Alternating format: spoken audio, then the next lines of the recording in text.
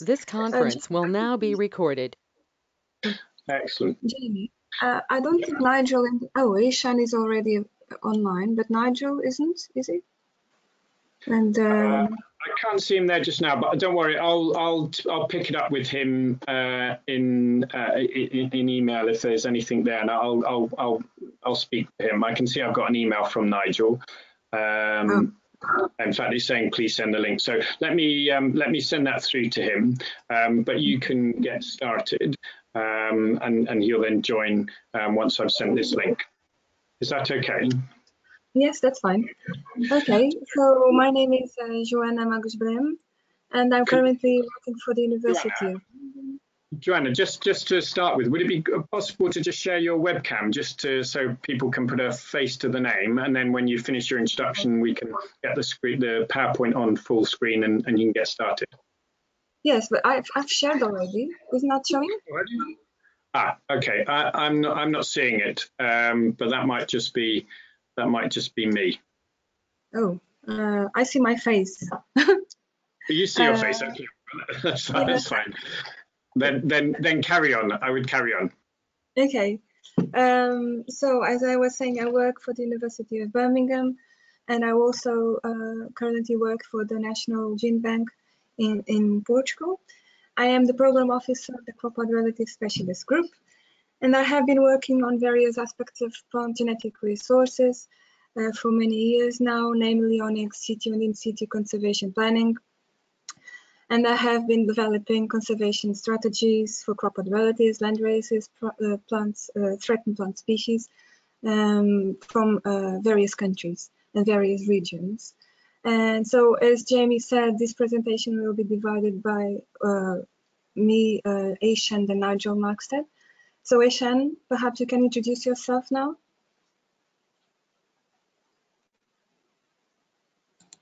Yes, uh, hello. I hope you can all hear me. Uh, so let me try and share my webcam with you so you can see me. Hi, everybody. So my name is Ehsan Dulloo. I work for Bioversity International, uh, where I'm the team leader for the Integrated Conservation Strategies uh, program in Bioversity. I have, uh, like Joanna, been working uh, for many years on the conservation of crop wild relatives, leading that work in in in Bioversity. So you'll hear more about me later on. Thank you. Over to you, Joanna.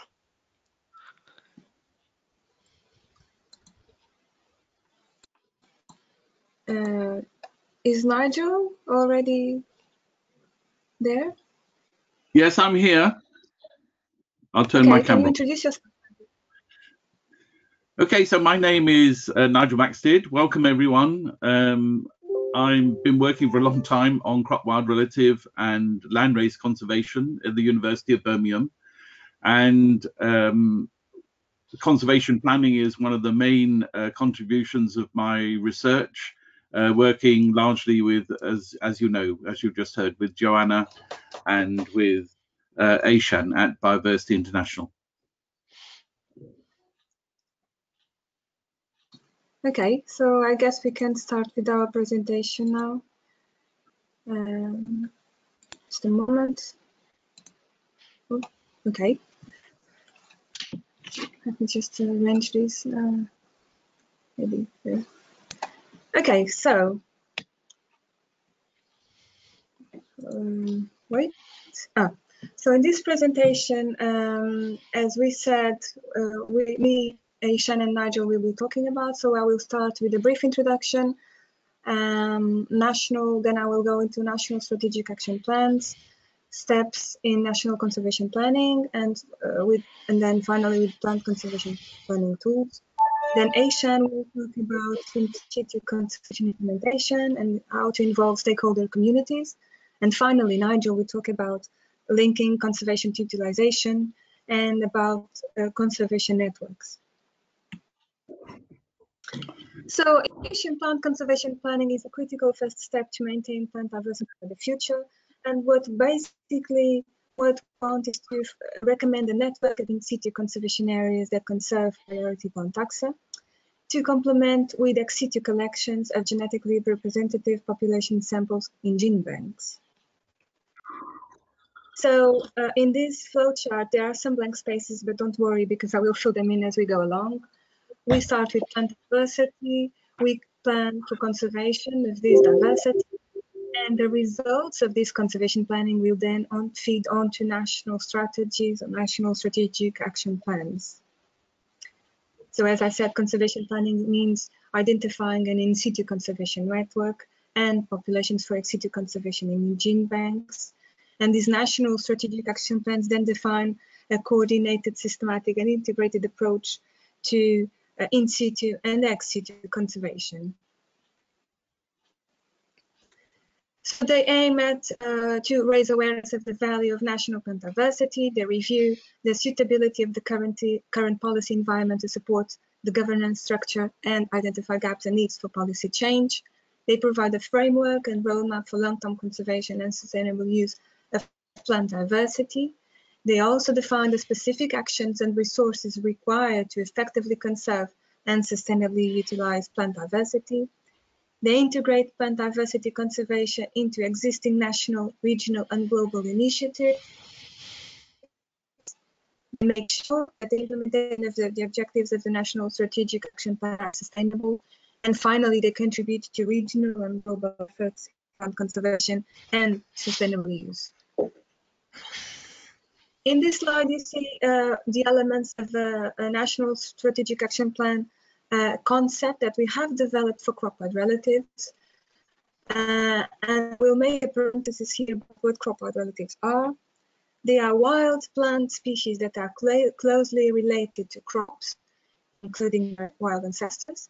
And because they have a very close rela genetic relationship to crops, they have an indirect use as gene donors for crop improvement. So therefore, they are an important socioeconomic resource that offers a novel genetic diversity that is required to maintain future, future food security. And in this example below, you have a wild crop relative, crop relative, a beta maritima that can be used and has been used, been used to confer resistance to um, a couple of, of uh, diseases in sugar beets, cultivated sugar beets. So going back to this slide, uh, a national strategic action plan uh, and have more very various elements that you can see in this in this image. Sorry. And the strategic and the concrete actions are central to this plan. I'm sorry. and they basically, uh, so the concrete actions basically highlight what are the important taxa that are needed to be conserved, the sites for active in situ conservation. They also lay down an ex situ conservation program and include various public awareness activities. The strategic actions for the conservation and use of species, they basically are the policy interventions that are uh, uh, to enable concrete actions and the enabling conditions that are necessary to achieve the NSAP uh, objectives. And they can have uh, various other elements like, like the uh, policy uh, framework, floristic diversity, introduction to floristic diversity, uh, and and in in the bottom you see those elements that are needed to actually implement a national strategic action plan, such as the stakeholder collaboration, the resources that are needed, and uh, how to monitor and when to monitor and review the national strategic action plan. So this is a model uh, for the development of a national strategic action plan uh, that we have been developing and refining for years now. And I, I, I, I uh, propose, well, I, I erased crop relatives there on, in the title on purpose because I think it can be adapted to plant diversity, to any plant uh, uh, group. And you see three columns there one is uh, the conservation column. On the middle one, you have the policy environment, and on the right, you have the utilization potential. And across in blue, you have planning. Uh, in green, the strategy implementation. In orange, the utilization of this uh, diversity. And in this presentation, I will be talking about basically conservation planning, which comprises these steps. It is a bit um, complex uh, uh, graph, but don't worry. Uh, I will focus on, on these ones, uh, on these elements first. Well, first, no, uh, only.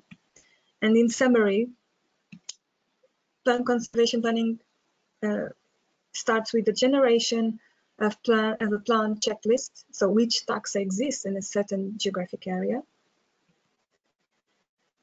Select priority taxa. Uh, well, so which taxa are more important to conserve? And this tax, plant taxa inventory uh, is basically a list of, of, of, priority taxa with additional information that might be needed to uh, to afterwards we uh, conserve these taxa. Then we we undertake diversity gap and climate change analysis to select targets for conservation, target sites for conservation, sorry. So where are priority taxa located and are there any gaps in their conservation? And finally, recommendation for in situ ex situ conservation. So where should we actively conserve priority taxa in situ and where should we collect for ex situ conservation? So let's start with the first step, generation of plant checklists. So first of all, we determine the geographic scope, whether we are looking at national level, regional level, subnational level. We determine, determine the scope of the plant checklist, whether we are looking at all plant that exists in that uh, geographic area or certain groups. We annotate the plant checklist for prioritization, and we make fi finally make available the checklist to users. And on the right uh, side, you see a case study for Angola. So these, these authors, they explain that how they create a national flora checklist using only web-based uh, result uh, resources. And they finally created the flora, the flora of Angola online plus a hard copy. So we know, uh, so we have a plant checklist, so which species should we prioritize? Because uh, we all know there are not enough resources to conserve uh, all taxa, so we need to prioritize them. And so first of all, we should define the prioritization criteria. And for crop relatives, we usually use the, third, the top three.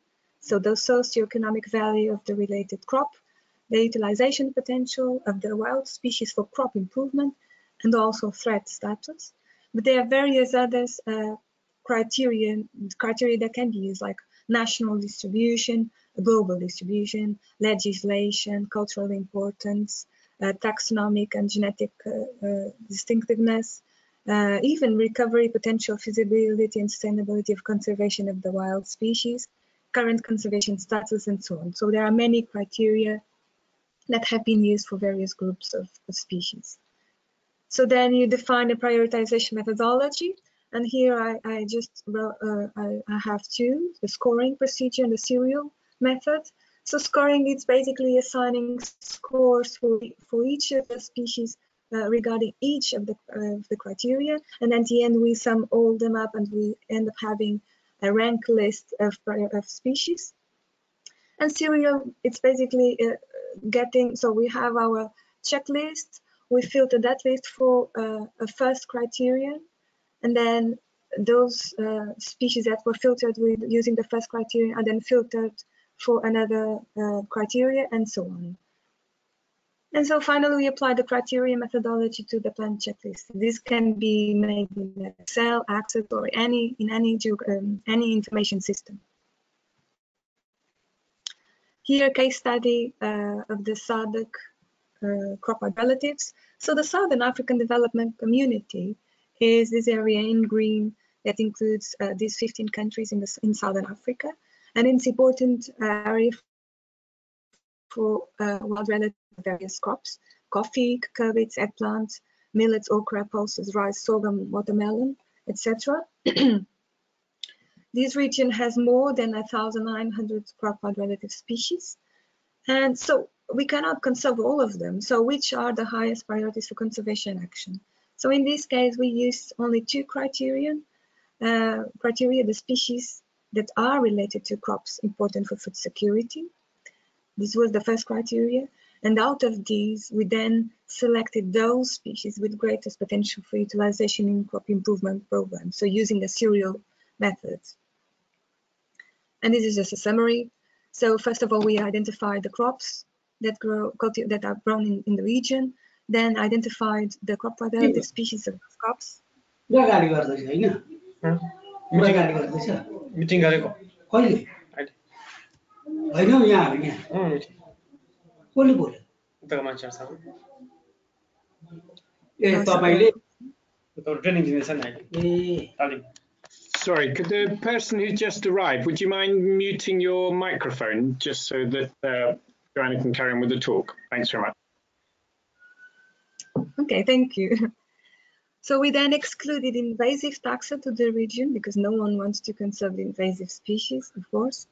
And we then um, identified those species with potential or confirmed uses in crop improvement. And we ended, have, ended up having 100 crop-related species hmm. as priority in the region. That's just an example.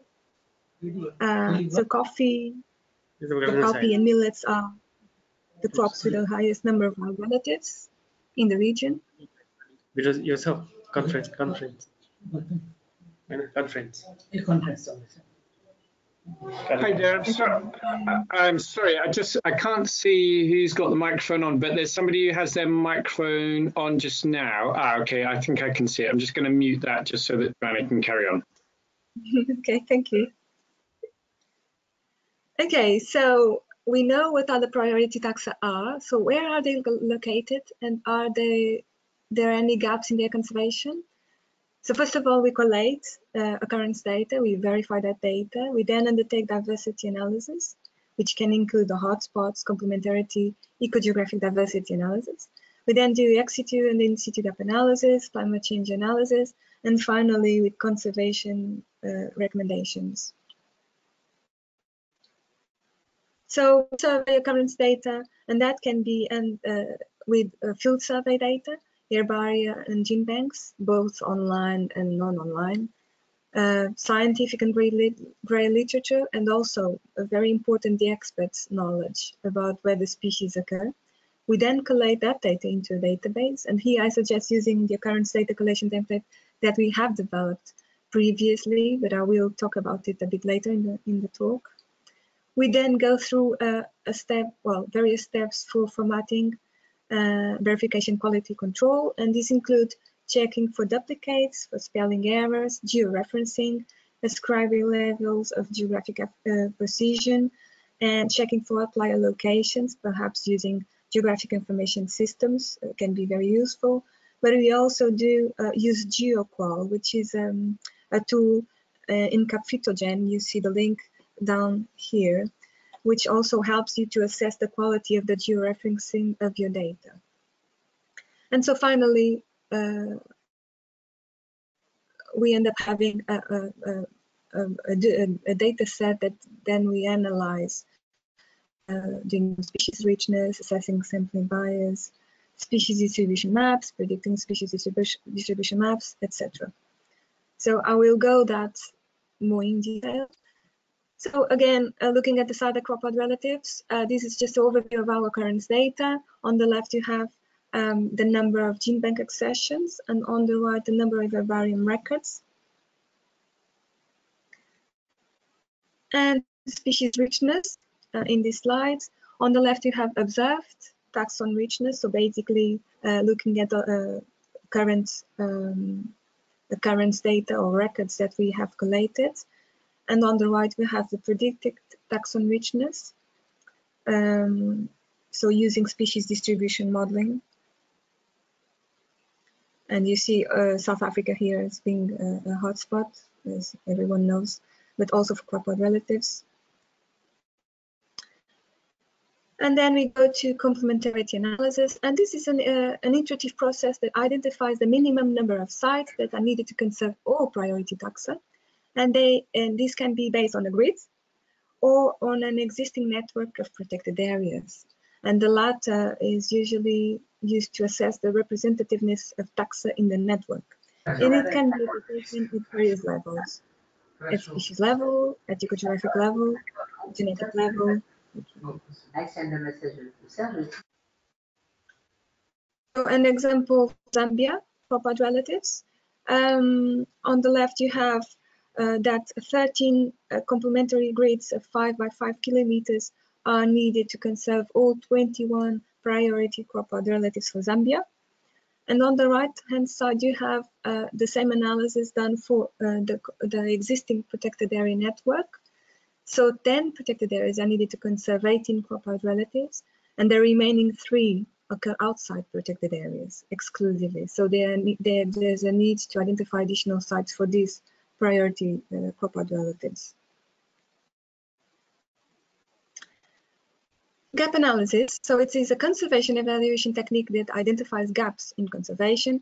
It involves a comparison between the range of natural diversity and the diversity effectively conserved in situ, and this is called in situ gap analysis, or uh, the comparison between the range of natural diversity and the accessions of the species that are represented in gene bank collections and this is called ex situ gap analysis. And it can be done at various levels, at species, ecographic, genetic diversity level, um, etc.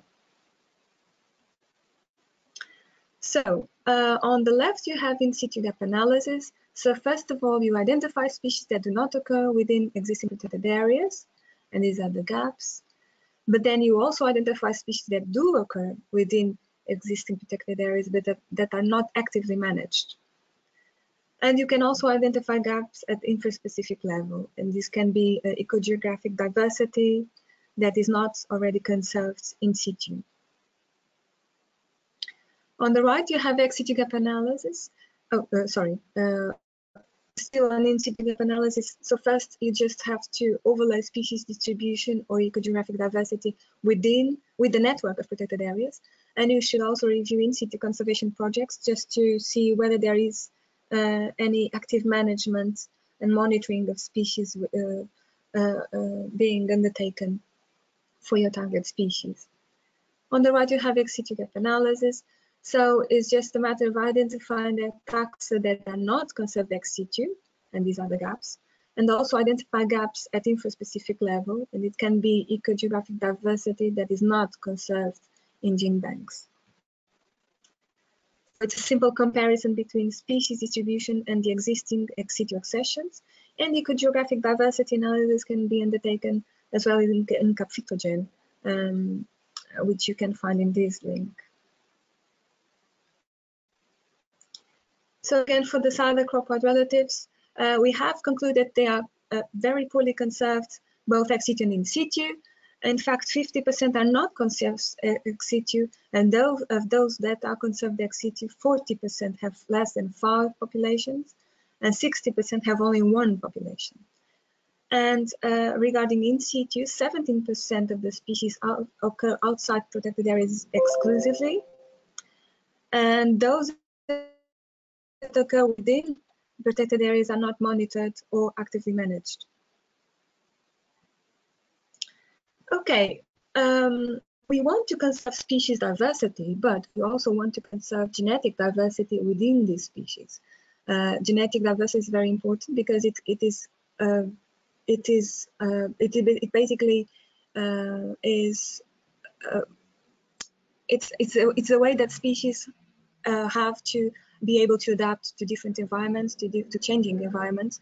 And, and so this genetic diversity information, it is usually lacking.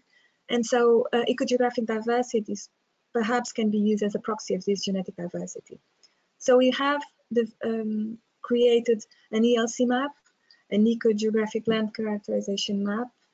Uh, and in this case, uh, we, we aimed at describing the different environments of the territory. So we used 16 generalist variables that you can see in this table on the left, using the Calinski, Calinski method and using again CapFitoGen to produce this map. Um, I will uh, tell you later how geographic diversity ge geographic diversity, sorry, can be used uh, to recommend sites for in situ conservation and ex situ conservation. But for now, we I just want to show you how um, uh, one one one question that we have to make, which is how is climate change predicted to affect plant diversity? So again, in the SADC region, for crop relatives, we uh, use these two scenarios on the left. Uh, uh, a predicted increase of 2.06 Celsius degrees, and on the right a bit more, 2.55.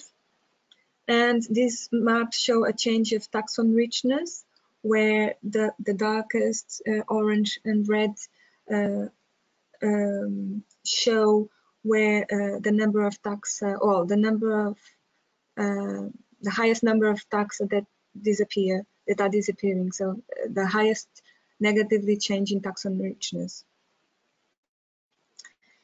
So uh, uh, the countries uh, here, so with the red and orange bars, they are those that have a, a higher decrease in the number of priority crop relatives. And these are at species level. So we have the winners, so those species that actually uh, will win with climate change, will gain uh, territory, and the losers, those ones that will lose more uh, suitable, suitable habitat. Okay, so where should we actively conserve priority taxa in situ? So basically, we want to conserve in situ the whole range of ecogeographic diversity for each species, but we want to conserve populations that actually persist in the future with climate change. And here you have an example with the wild relative arise, or, or with uh, longistaminata.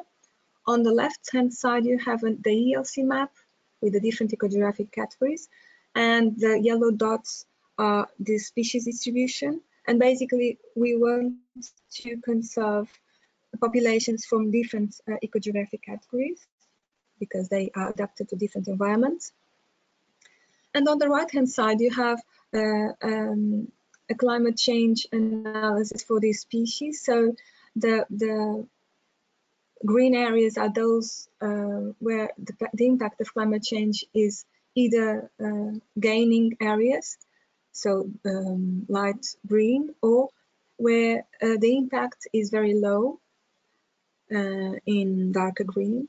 And in red and orange, those are very, uh, those that are negatively impacted areas. So basically what we are looking for is for these populations that occur in the low impact areas, in those green areas, because we know that, well, we expect them to be there in the future with climate change. How, how do we then um, combine these?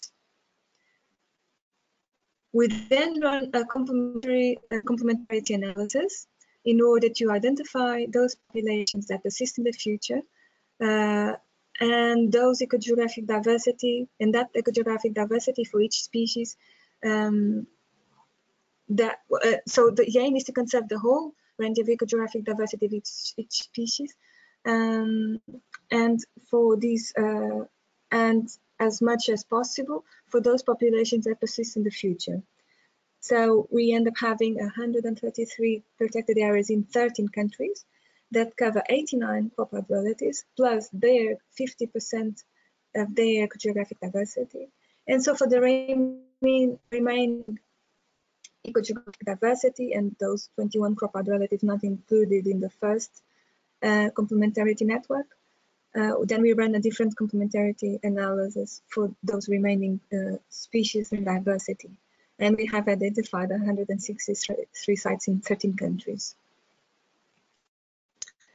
So Democratic Republic of Congo, South Africa, and Tanzania are very important areas for conserving crop and relative diversity predicted not to be negatively impacted by climate change. And okay, where should we then collect for ex situ conservation? So our first priority is uh, those areas of ecogeographic diversity not conserved ex situ and that is likely to disappear with climate change. And these are our results and a close-up. And you see in, in red uh, here in the RC, these are the, the, the, the richest areas in terms of ecogeographic diversity not conserved and that is likely to disappear with climate change. So this is where we should focus our target, our focus. Should, this is where should we we should target target our um, efforts. Sorry. And we concluded that 39% of corporate relatives uh, will lose ecogeographic diversity with climate change, and perhaps uh, and millet, cowpea, and eggplant wild relatives are the most affected and gold and DRC are the most important areas for, to conserve this diversity. And priority two, are those uh, predicted richness areas of the remaining ecogeographic diversity not conserved ex situ, uh, regardless of whether they are negatively impacted by climate change or not. And so these are the, our priority two collecting areas. Again, Angola, DRC, and several other countries in the in the SADC region are important areas for studying uh, ecogeographic diversity of crop relatives not conserved already in ex situ. Okay, uh, almost uh, finishing. So plant conservation planning tools, we uh, they, they were developed because we felt the need to guide and facilitate systematic conservation planning and to develop uh, national strategic action plans. They promote data sharing and standardization of data management and they aim at minimizing errors and time costs. And again, these flow charts, where you see plant diversity on one side, using the conservation planning tools to conserve, uh, to plan for conservation, and, and finally, uh, the national strategic action plans. So we have developed uh, five tools. For conservation planning, we developed an interactive toolkit for uh, conservation planning a checklist and inventory template, and a current data collection template. And for national strategic action plans, we developed two templates that help in the preparation of these NSAPs. They are freely available online, and although they were developed for crop relatives, we think that they can be applied and used to any wild plant group. So again, this slide. So the first one, I think is the most important one, is the interactive toolkit for uh, crop wild relative conservation planning. Um, sorry, this is not. Ah. The checklist inventory data template, data template, which can be used to generate the plan checklist and also to prioritize taxa, and the occurrence data collation template that will help then prepare the data for this diversity gap and climate change analysis. And finally, the technical, uh, the National Strategic Action Plan template and the technical background document, which basically should go together with the NSAP that holds all the scientific and the academic data and results that we have produced in, in our conservation planning. So the interactive toolkit for uh, conservation planning can be found in these websites. As I said, it's freely available. The only thing you need is to register to use it. And not only includes brief introduction to each of the conservation planning step, but uh, provides uh, several uh, examples. But most central to it are the flowcharts, the interactive flowcharts that you can uh, uh, use and they, they can be adapted to your own context. So they are interactive in that way. There's also a big list of references that can be consulted um, uh, for each conservation planning step. Then the checklist and inventory data template. This was done for crop-wild relatives, uh, as I said. Uh, and this is the publication we have, uh, well, published in 2017. And this is the tool, how it looks like. It was developed in Excel because it's widely used. And um, so it, we thought it was better to use uh, develop in, in Excel and it has been used in these areas. The occurrence data collation template helps you to collect data from various sources, so from gene bank accessions, uh, herbarium specimens, um, field observations, uh, bibliographic references, um, experts, uh, also personal communications, and helps you to standardize all this data and prepare the data for the subsequent analysis. It also helps you to prepare data to use in CapFitogen uh, if you are using that for, for your planning. And this is also developed in Excel based on various descriptors that already uh, that were developed before uh, from other various publications and, and uh, projects. And it has been also used in these in these regions. National strategic action plans, uh, they have been, uh, these three that you see here, they have been developed using the templates that I told you, and they have been published and endorsed by the relevant ministries, so in Zambia, Mauritius, and South Africa. So they were very useful for this purpose and helped the countries to, to develop their national strategic action plans. Okay, to finalize and complete this flow chart, we have plant diversity, use the planning tools for conservation planning. The results of that then feed onto national strategic action plans. We then do in situ and ex situ conservation, and, and, and Ehsan will be talking about in situ implementation, conservation implementation afterwards. And finally, we end with the utilization of diversity, which I think Nigel will also talk about. So over to you, Ehsan. Joana and Ehsan, just just before you you start, just just check in with people if they've got any questions. And Ehsan, I'll, I'll um, share the screen with you just now as well. Um, uh, but uh, if, if, you have a question for Joana on anything she's presented up to now, either if you want to write it in the chat box or you can unmute your microphone and then I can see um, who'd like to ask a question, we can queue them up. And we'll just take a, a, a couple of questions just now um, if there if there are any.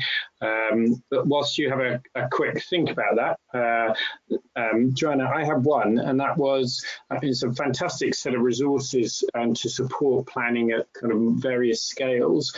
Um, you mentioned a number of values in there about you know we need to obviously prioritise for for, for climate change and we want to maximize genetic diversity, etc. But these are these are all value judgments rather than than facts and I just wondered, in terms of the planning process, is is there is the assumption that those people, uh, the organisations, the countries involved in doing the planning, will make their choices as to what they care about most, and that and the and the resources are flexible to to that, that their choice about what's most important to them.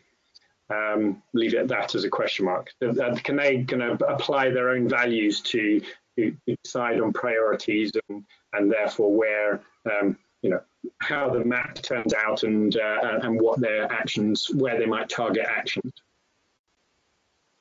Yes. So um, in our work we usually well we try to involve um, stakeholders all stakeholders uh, that are um, well involved in the conservation of these resources in planning and conservation. So um, just to make sure that not only everyone is happy with it, but also that implementation will be, uh, you know, more will be facilitated because they were taking into account during the process.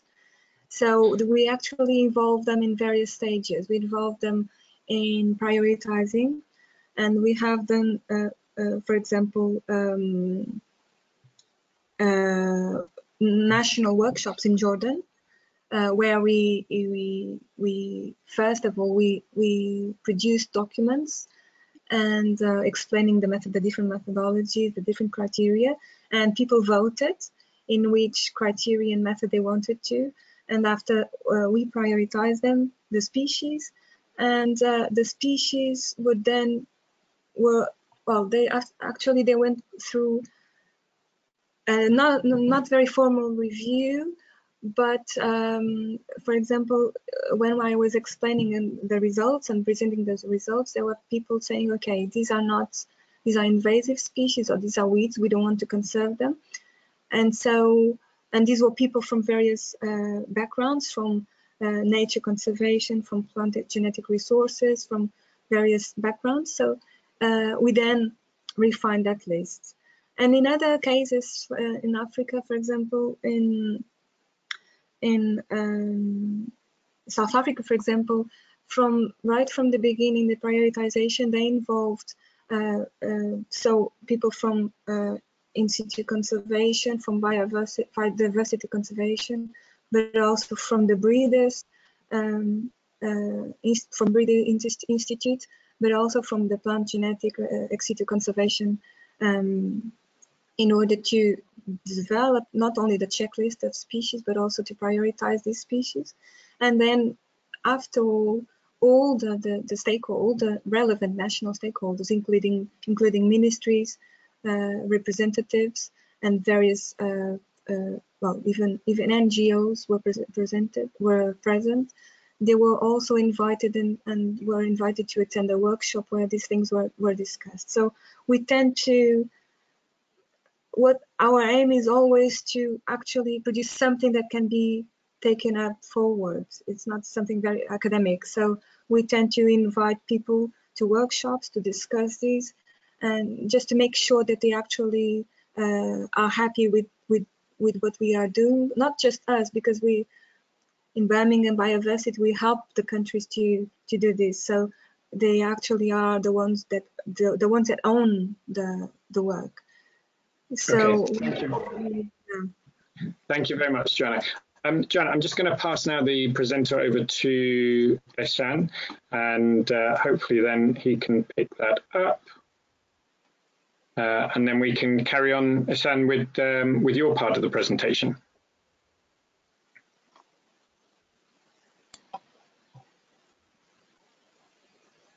Okay, I hope you can all hear me. So Yeah. I'm going to follow on uh, to what um, Joana has just been talking about.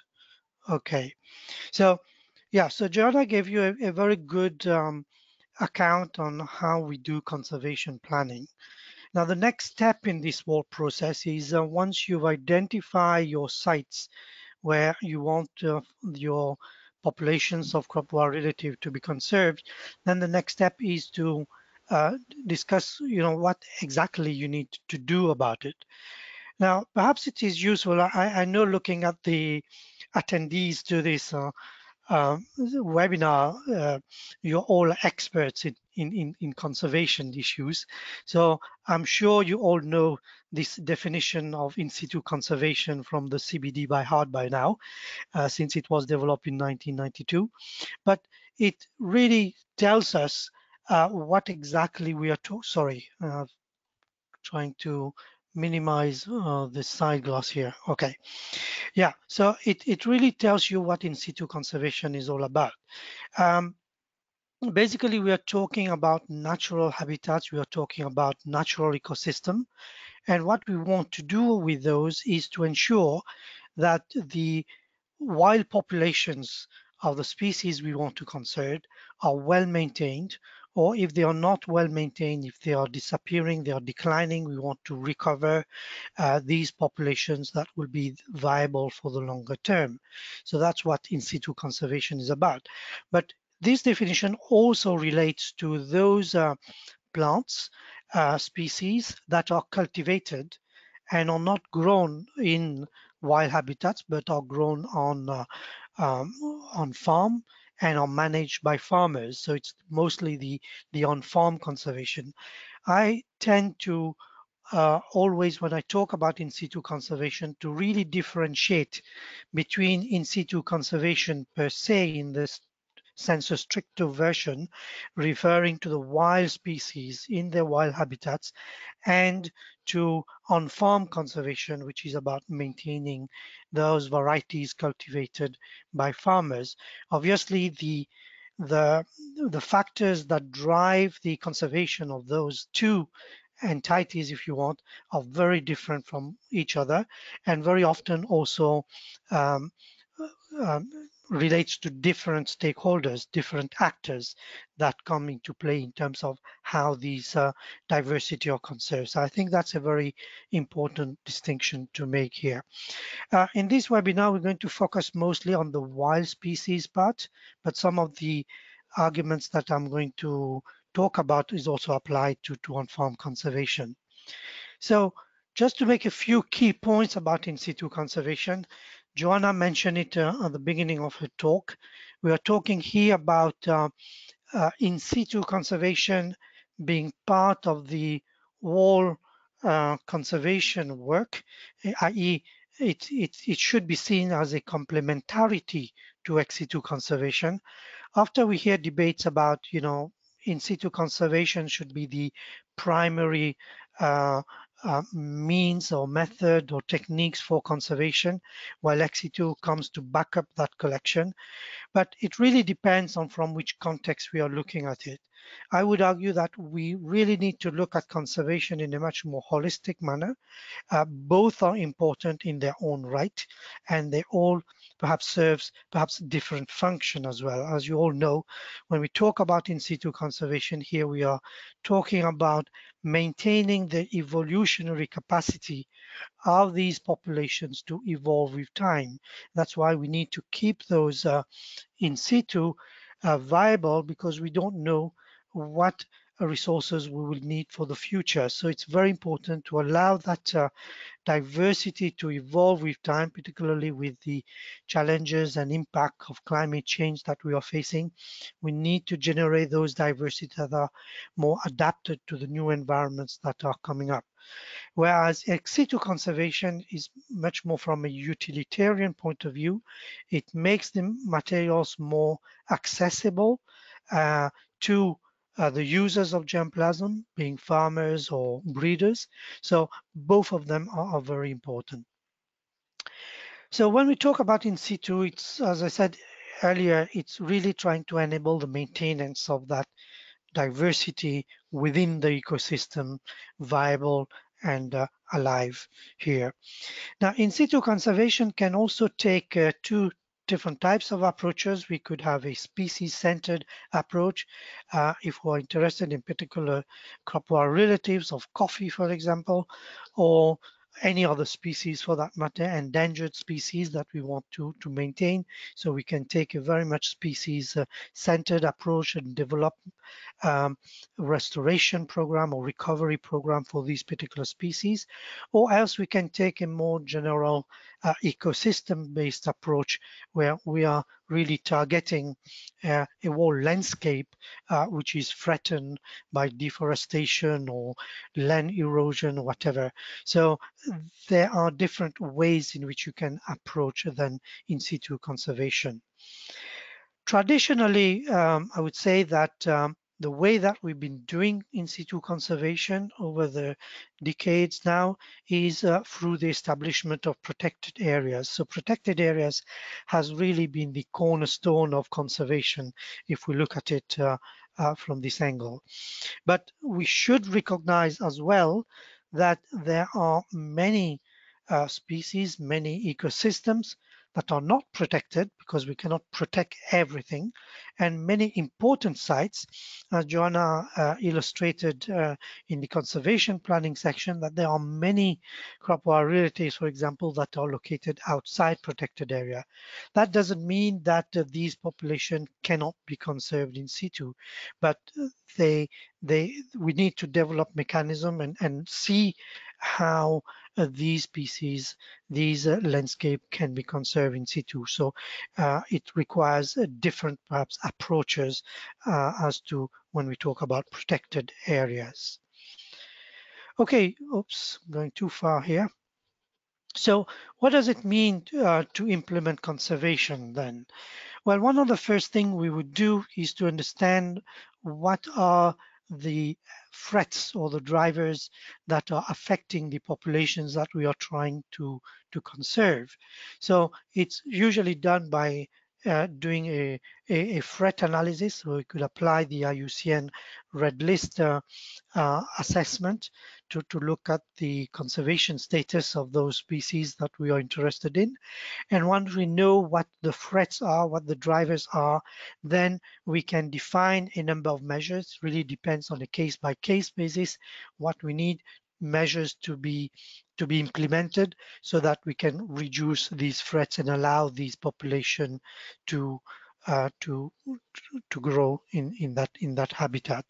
For example, if the threat is about uh, invasive species, which is the case for many tropical islands in this world, then one of the major factors is to do uh, control of those invasive species, uh, as we have done very successfully here in, in Mauritius. Um, also very important, if we are to be successful, it is very important that we have the appropriate uh, regulatory framework and the policy framework uh, in place. Some of them may already be in a protected area, so there's already a, a legislation that govern these protected areas, and a an authority, a management authority, can be a national park authority or a forestry authority or whatever, depending on country to country, that would manage that, and what sort of policies they have in place that will enable uh, these conservation actions to be implemented. And it often relates to the issue about land tenure. If we are aiming for long-term conservation, it's absolutely essential that we have the land tenure to allow these these uh, species to be protected over a long term. If those species are found on uh, private lands, then we do need to have uh, uh, an agreement with those uh, private owners to make them understand the importance and the value of these resources and uh, get their agreement in terms of setting aside some of those areas for long-term protection and uh, establishing a protection system and obviously enforcing these would be very important as well. I mean, the crux of uh, in situ uh, activities is to actually do the conservation, implement the conservation measures, which often uh, involve uh, uh, developing a restoration plan for the sites, implementing those plans. It can be uh, having to raise the populations uh, maybe in a nursery or on site itself in temporary nurseries to have the planting material to replant into those areas.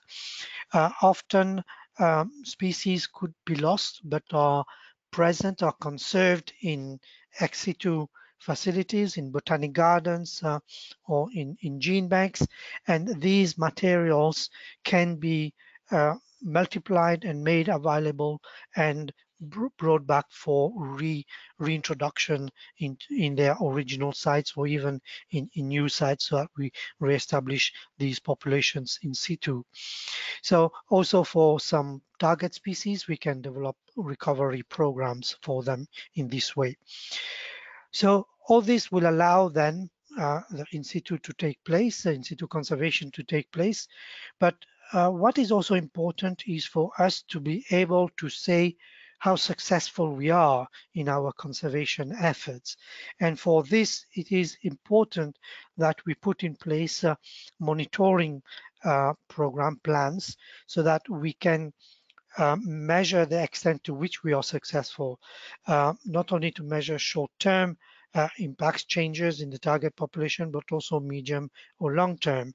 Very often we think that we are doing the right thing, but by through monitoring, we might um, you know, realize that, well, it's not going as we wish it would be. So we might need to review our implementation strategy and to see where we've gone wrong or what we need to do better.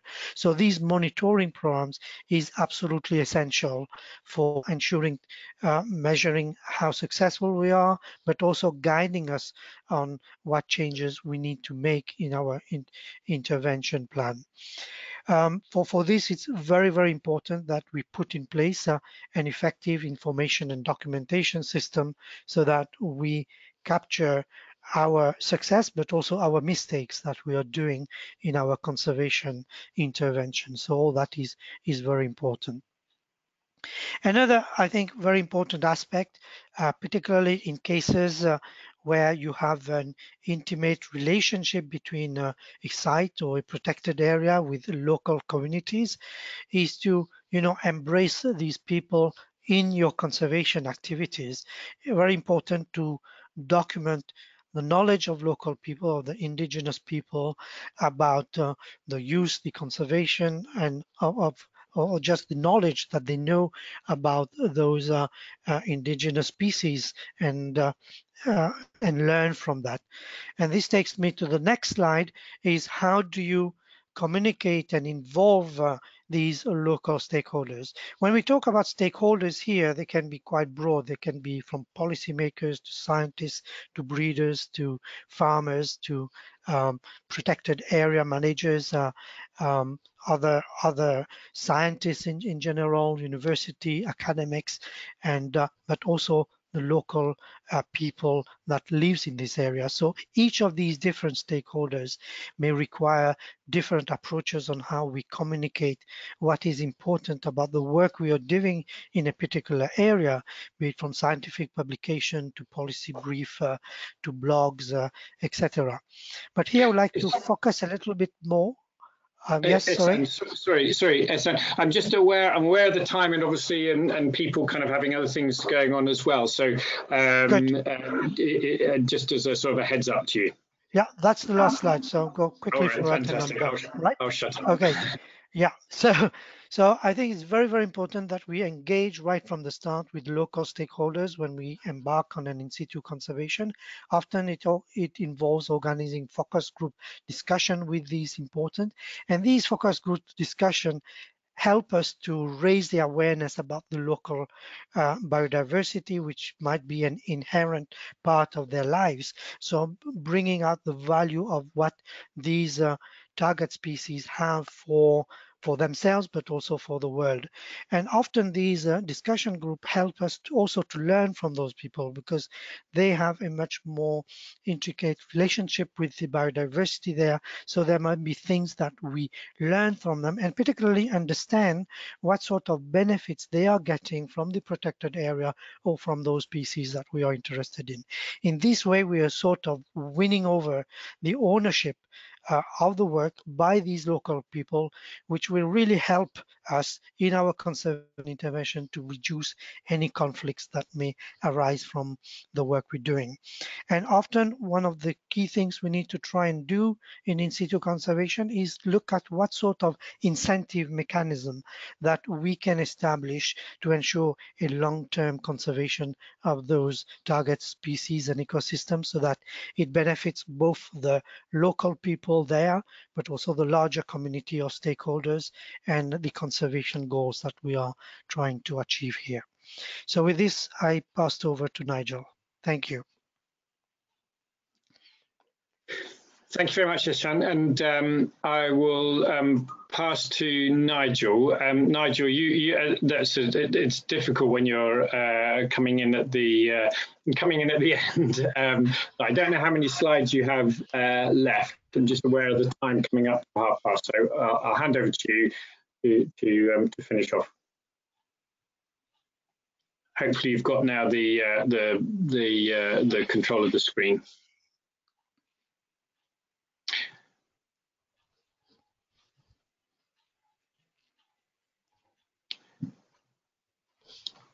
All right, Nigel, can you see that? If you just, I think you just have to accept it.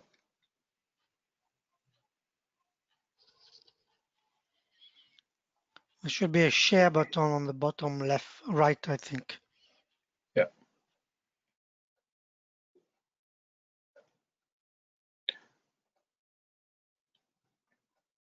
Ah, can you hear me now? I can hear you now. Yes, yes. Did you um, have you managed to see? There's a, should be an invite to take on the presenter role. Right. Uh, sharing time screen. Share. I'm sorry, Jamie. It says share. I'm clicking on it, but nothing happens. Um, can, but have you accepted the presenter role? Um, This Um, in- conference will now be recorded. in terms of the ecosystem services they provide. But currently, that diversity is being threatened, both at the taxonomic level, so species are disappearing, but also in terms of genetic diversity as well. Genetic diversity is disappearing from um, populations that aren't conserved. Also, because of that potential use and the threat that they're facing, there is increased global attention now being paid for in situ and ex situ conservation of those taxa. So the tools that we've developed um, in terms of crop wild relative conservation can be applied uh, for all plant species. So the take home message is really that um, the work we've been doing on crop wild relative conservation is applicable for all um, the methodologies and the tools we've developed are applicable for all forms um, of conservation. And with that, I'll hand back to Jamie for further discussion. Thank you very much for that, Nigel, and uh, and thanks for for for, uh, for dealing with the technological um, issues there uh, very coolly. Um, and uh, I'm aware that we've kind of run over by by ten, so um, I don't want to, to hold people for uh, for too long. But I want to do sort of open it up to see if there are some questions. I know that um, Fred Pilkington has made a, a comment that.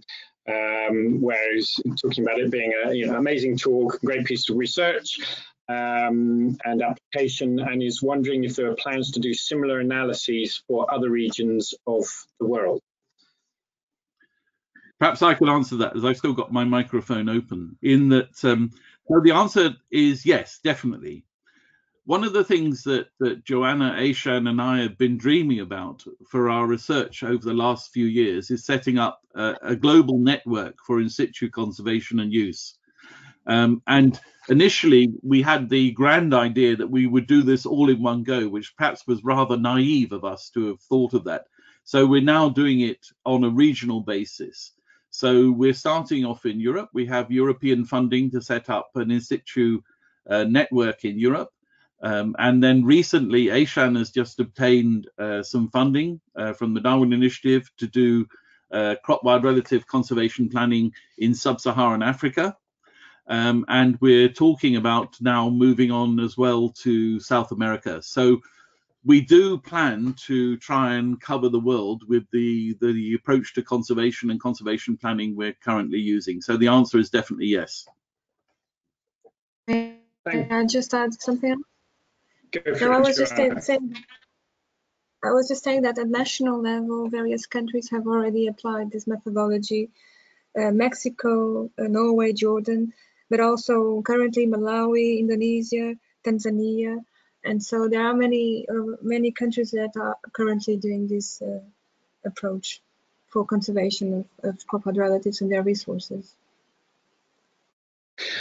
Thank you, Joana. And if you do have any questions, we'll take uh, one or two last ones either in the chat box, which I'm looking at, or if people turn their microphones on. Um, and whilst we just wait for that, Joana, just just in response to that, have you found that when they've been using the process that they're modifying it at all, um, or is it is it kind of does it seem to be pretty much you know fit for purpose? Um, yeah. The, so. The, the so um, the process, the basic process uh, is is the same uh, for all countries, for all regions. So starting with the checklist, prioritizing, uh, collecting information, occurrence data, and then doing the diversity analysis. But of course, the level into, into uh, each country or each region goes into the diversity analysis is changing, changes. Uh, so some countries prefer to do a more superficial analysis, and the countries prefer to do a more in-depth analysis. So using climate change, ecogeographic diversity. So it does depends, but basically the the, the concept and the methodology methodology used is is the same. Hmm. That, that, I think is is is very is a very powerful and I think an important element of any tool is that ability to respond to the depth which you know which a group or you know is looking to go into at that point, you know, how flexible is it, which seems like it is, uh, and it is a um, clearly a fantastic um, suite of tools and, and, a process that allows you to plan for multiple species across multiple countries uh, as you want to and go into it in, in a variety of depths. Um, one last question from Suzanne and then we'll, we'll wrap up so people can carry on with their, will go ahead or whatever is. So Suzanne is asking, are there any examples of new areas being established specifically to crop wild relatives? Joana, do you want to respond first to that? Or well, it... uh, as Nigel, I think Nigel was just talking about it. Uh, the first one in the UK is, is currently on, on its way. Uh, but I, well, there are some examples where where sites have been identified to actively conserve protected areas, but formally established, I think probably the UK one is the first one, and perhaps uh, a couple of them um, in, one in Armenia, but I'm not sure it was, uh, well, I know it hasn't been established following this methodology, but perhaps Nigel can answer that. Yes, so I mean, the, the first one that's been recognised formally by the government of the country um, are four sites in Germany who've been uh, set up explicitly for conserving apium species, crop wild relatives and apium, so wild relatives of celery. Um, uh, but we also, ha- as, as Joana gave that long list of countries, each one of them has, uh, to a certain level, established uh, crop, active in situ crop wild relative conservation. One of the one of the problems we have is that countries, although they we may be able to identify where to set up uh, in situ conservation of crop wild relatives, and we may be able to work with the local protected area managers to actually do the in situ conservation it's formal, recogni- formal recognition by the government, which is becoming uh, is, is slightly more problematic. Because in terms of recognizing a site, then maybe the government fears that there's going to be some financial commitment to additional management of the site. So uh, something we we would never have been aware of before that would become a, a problem in terms of limiting um, conservation is this this fear by governments of taking on additional uh, financial commitments. Um, but one of the interesting things that is the truth is that um, in terms of managing um, on uh, uh, in situ conservation of crop wild relatives in protected areas, the additional financial contribution is actually very limited because if you have if you identify a site because it has a healthy population of crop wild relatives, then effectively the management that is existing at that site is good for those crop wild relatives. So there is no um, additional uh, financial commitment apart from the actual active monitoring of the crop wild relatives at the site to make sure they they're maintained at the site in perpetuity. Nigel, Ehsan, and Joana, thank you so much for that fascinating talk. And uh, as Joana pointed out earlier on, there's the, the, the, website and the tools are there, freely available. So, so go and take advantage of them. Um, and um, thank you very much, everyone, for, for staying with us. Um, and we'll give you a heads up for the next uh, webinar that uh, is being organised. But um, thank you to the presenters. Um, everybody have a very good day. One thing before you go. Yes, so if, if, anyone listening would like uh, follow-up uh, recommendations of literature or if we went uh, too fast in any specific section if they email any of the three of us then i'm sure we can provide follow-up information and more detailed guidance in terms of where to get the appropriate uh, documentation from Thanks very much, Nigel. And if you don't have their emails, you will have mine. So um, just contact me and I'll put you straight in touch. So all the best to everybody and um, uh, we'll be in touch again for a later webinar. Bye for now. Thank you.